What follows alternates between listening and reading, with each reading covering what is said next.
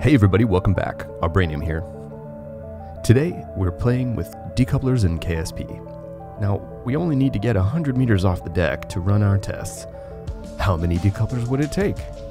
Well, I tried 512, and most of the decouplers seem to explode instead of decoupling. I had more success with 256. Kinda. I'm not sure you can call any of this successful, given all the explosions. But Jeb kept surviving the test, so uh, we kept going. I mostly kept reducing the number of parts, hoping it wouldn't explode. This was also unsuccessful. In the end, we were able to confirm a nuanced behavior of the EVA parachutes.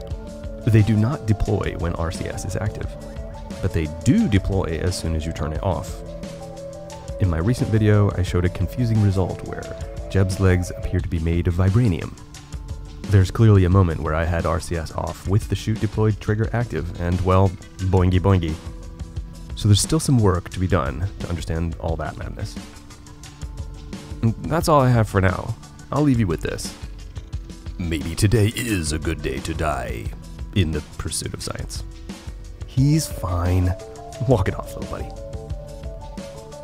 And thanks for watching. See you next time.